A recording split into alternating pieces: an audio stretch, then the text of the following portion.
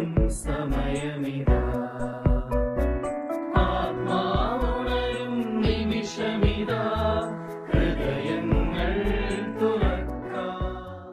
ആകയാൽ ദൈവത്തിന് വിധേയരാകുവിൻ പിശാചിനെ ചെറുത്തു നിൽക്കുവിൻ. അപ്പോൾ അവൻ നിങ്ങളിൽ നിന്ന് ഓടിയകന്നുകൊള്ളും യാക്കോബ് എഴുതിയ ലേഖനം നാലാം അധ്യായം ഏഴാം തിരുവചനം. Submit yourself therefore to God resist the devil and he will flee from you letter of Saint James chapter four verse seven സ്നേഹം നിറഞ്ഞ സഹോദരങ്ങളെ എളിമയെന്ന പരമപുണ്യം ഞങ്ങൾക്ക് നൽകണമേ എന്ന് നമ്മൾ പാട്ടിന്റെ വരികളിൽ പാടാറുണ്ട്.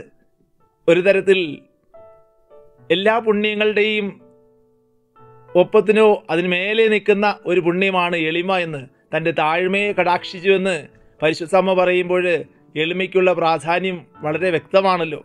ഇതാ ദൈവത്തിന് വിധേയരാകുവിനെന്നും പിശാജിനെ ചെറുതു ഇന്ന് നമ്മുടെ വചനത്തിൽ യാക്കോബ് സ്ലീഹ നമ്മെ ഓർമ്മിപ്പിക്കുമ്പോൾ ആ എളിമയോടുകൂടി ദൈവത്തിന് വിധേയപ്പെട്ട് നിൽക്കാനാണ്.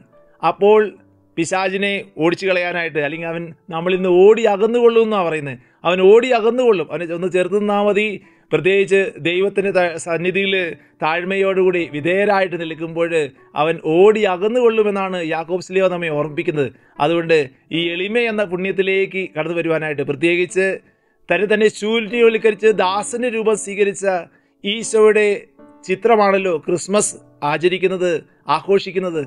നമുക്ക് ഈ എളിമ എന്ന പുണ്യം ഈ ദിനങ്ങളിൽ നേടിയെടുക്കുവാനായിട്ട് ആഗ്രഹിച്ചുകൊണ്ട് ഈ വചനത്തിന്റെ സത്ത ഉൾക്കൊള്ളാം. ദൈവം ഇന്നത്തെ ദിവസത്തെ സമർത്ഥമായിട്ട് അനുഗ്രഹിക്കട്ടെ.